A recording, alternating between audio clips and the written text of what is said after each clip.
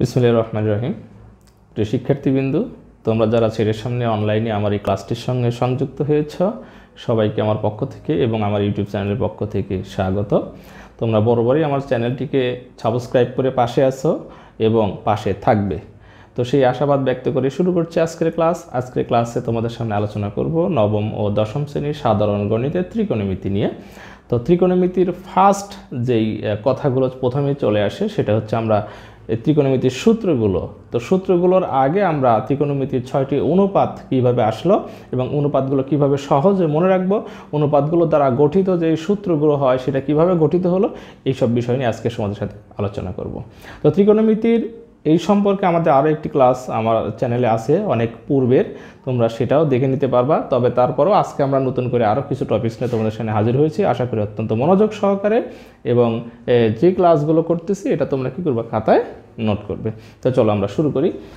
তো প্রথমে আমরা যাচ্ছি ত্রিকোণমিতির যে ছয়টি অনুপাত, সেটা আমরা নিশ্চয়ই ছয়টি অনুপাত অবগত আছি, সেটা হচ্ছে sine cos tan cot sec cosec তো আসলে আমরা ছয়টি অনুপাতের পূর্ণ নাম জানি, যে এটা হচ্ছে একটা হচ্ছে সাইন এটা হচ্ছে cosine tangent cotangent second co second এগুলোকে সংক্ষিপ্ত করে আমরা সাইন কস ট্যান কট সেক কসেকে রূপান্তর করেছি। তো যাক, আমরা যাচ্ছি যে এই অনুপাতগুলো মনে রাখব কীভাবে? তো মনে রাখব হচ্ছে আমরা কিছু তিনটা ছন্দ রাখব একবার। যেমন আমরা ধরো ছোট্ট করে যদি বলি, এখানে একটা ছন্দ পড়ি, সাগরে লবণ অতি। এই অতি মানে হচ্ছে, আমি প্রথমে তিনটা শব্দকে ফাইন্ড আউট করি। সাগরে মানে আমি যদি সাইন কল্পনা করি, লবণ মানে যদি আমি লম্ব কল্পনা করি, অতিভুজকে অতিকে যদি আমি অতিভুজ কল্পনা করি তাহলে আমাদের অর্থ দাঁড়াবে হচ্ছে সাইনের সাথে একটা কোণ থাকবে। আমরা সাইনের সাথে একটা সূক্ষ্মকোণ থাকবে। সাইন থেটা সমান সমান, দেখো এই সাইন আমি লিখলাম, সাইন থেটা সমান সমান লম্ব লম্ব মানে এখানে আমি লম্ব হচ্ছে এই উপরে লিখতে হবে লম্ব, অতিভুজ যাবে কোথায়? নিচে। তাহলে আমাদের যদি এই ছন্দটা মনে রাখি খুব সহজেই সাইনের অনুপাত মনে রাখতে পারব। কি যেন? সাইন থেটা সমান সমান লম্ব বাই অতিভুজ। খুব ইজিলি নিশ্চয়ই বুঝতে পারছ? আচ্ছা সাইন তো আমরা জানলাম। এবার সাইনের পরে আসতেছি হচ্ছে কজ কজের জন্য আমরা একটা ছন্দ শিখব। সেটা হচ্ছে, এখানে আমরা লিখে নিচ্ছি, তোমরা সবাই অ্যাক্টিভ থাকবে এবং এগুলো প্রয়োজনে খাতায় নোট করে নিবে। এরপরে আসবে হচ্ছে কজ খেয়াল করি কজের একটা ছন্দ জানব, সেটা হচ্ছে আমরা যারা মুসলিম ধর্মে বিশ্বাসী, সেটা জানি যে কবরে ভয় অতি। খেয়াল করি, কবরে ভয় অতি। আমি কবরে শব্দের অর্থের সাথে মিল রেখে বলতে চেয়েছি কজ ভয়ের সাথে মিল রেখে আমি বলতে চাইছি যে কি যেন? ভয় মানে হলে ভূমি। জাস্ট ছন্দ। তাহলে এখানে উপরে ভূমি আর অতীতে একটু এগিয়ে বলে দিয়েছি অতিভুজ। তার মানে আমরা কি বলতে পারি? কস থেটা সমান সমান ভূমি বাই অতিভুজ। তাহলে আমরা দুইটা অনুপাত সহজে মনে রাখার টেকনিক জানলাম। এবার যাচ্ছি আমরা তৃতীয় আরেকটি ছন্দ। চলো আমি তৃতীয় ছন্দটি লিখে নিচ্ছি। তৃতীয় ছন্দটি হচ্ছে, এটা একটা জাস্ট আমাদের মনে রাখার টেকনিক টেরা লম্বা ভূত আসলে ভূত বলতে কিছু নাই আমাদের সায়েন্সে ভূত বলতে কোনো শব্দ নেই। তারপরে আমরা জাস্ট গ্রাম্য প্রবাদে ছোটোবেলায় অনেক গল্প শুনেছি, তো সেই অর্থেই ভূতটা লিখছি। তো টেরা লম্বা ভূত। টেরা মানে আমি ট্যান বুঝিয়ে চেয়েছি। ট্যান এর সাথে একটা ঠিঁটা কোণ দিলাম। লম্বাতে আমি এখানে লম্ব বোঝাতে চেয়েছিলাম, আর ভূত এখানে আমি কি বুঝাতে চেয়েছি? ভূমি। এরপরে আমরা আসতেছি এই যে তিনটা অনুপাত আমরা এতক্ষণে জানলাম, ছন্দে ছন্দে, এই তিনটা অনুপাতকে যদি আমি উল্টিয়ে দেই, তাহলে আরও তিনটা পাওয়া যাবে। কাকে পাওয়া যাবে? প্রথমেই আমি বলেছিলাম যে সাইনের অনুপাত সাইন থেটার সমান সমান লম্ব ডিভাইডেড অতিভুজ। এখন এটাকে যদি আমি উল্টায় দিই, ধরো আমি অতিভুজকে উপরে লিখলাম। উল্টা মানে কি? অতিভুজ উপরে, লম্ব নিচে। তাহলে আমি লিখলাম উপরে অতিভুজ, নিচে দিলাম হচ্ছে লম্ব। তখন আমরা সাইনকে ঘুরিয়ে, সাইনকে ব্যস্ত করে আমরা বলতে পারি হচ্ছে কোসেক। সাইনের বিপরীত হচ্ছে কোসেক। মানে আমরা কি এখানে? সাইনের বিপরীত হচ্ছে কোসেক। তাহলে আমরা সাইনকে যদি উল্টাই পাবো হচ্ছে কোসেক। সহজ হিসাব। এরপরে আমরা আরেকটি একটু আগেই লিখেছিলাম, কাকে যেন? কজ কজেরটা লিখেছিলাম যে কজ থিটা সমান সমান ভূমি, ছন্দ, কবরে ভয় অতি। তার মানে আমরা ভূমি বাই অতিভুজ বলেছিলাম। তাহলে এটাকে যদি উল্টিয়ে লিখি, অর্থাৎ অতিভুজ উপরে দেব, তাহলে লিখলাম অতিভুজ উপরে লিখলাম আর ভূমিটাকে কোথায় লিখলাম? নিচে। তখন কজ হয়ে যাবে হচ্ছে সেক থিটা তাহলে আমরা কি করলাম? সাইন জেনেছিলাম, সাইন থেকে কোষেকে জেনে গেলাম। সাইনের ছন্দ বলেছিলাম কি? সাগরে লবণ অতি। তো এটাকে উল্টিয়ে আমরা কোসেক পেয়ে গেলাম। আর কসকে জেনেছিলাম, কবরে ভয় অতি। তো কজের উল্টিয়ে আমরা কাকে পাইলাম? ছেক পাইলাম। এবার আমাদের কি আছে? ট্যান। ট্যানের ছন্দ বলেছিলাম কি? টেরা লম্বাভূত। তো আমরা সেটাও লিখে নিচ্ছি টেরা লম্বাভূত। তার মানে আমরা ছন্দের আলোকে প্রথম একটা জেনেছি, বাকিগুলো আমরা তৈরি করে নিচ্ছি। কী ছিল? ট্যান থেটার সমান লম্বাভূত মানে লম্ব বাই ভূমি। এটাকে যদি উল্টিয়ে লিখি ভূমি উপরে লম্ব নিচে, তাহলে আমরা লিখে দেই, এই হচ্ছে ভূমি উপরে লম্ব নিচে আসলো।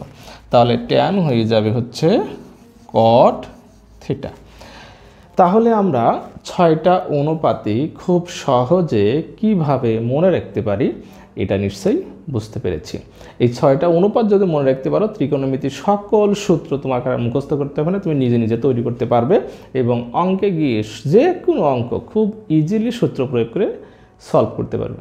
তো চলো আমরা একটু সূত্র গঠন করে দেখি কীভাবে হয়। দেখো, আমরা প্রথমেই যে সূত্রটি লিখেছিলাম অর্থাৎ আমাদের অনুপাতটা আর কি, যে কি? সাইন সমান সমান লম্ব বাই অতিভুজ।